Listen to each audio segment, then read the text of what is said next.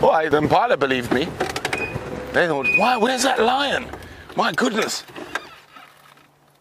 Yeah, see, the impala believed me. For once, an animal believed my lion roar.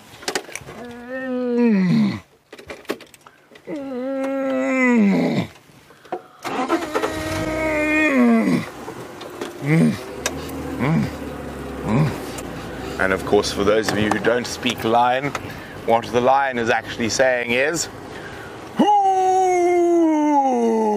Whose land is it?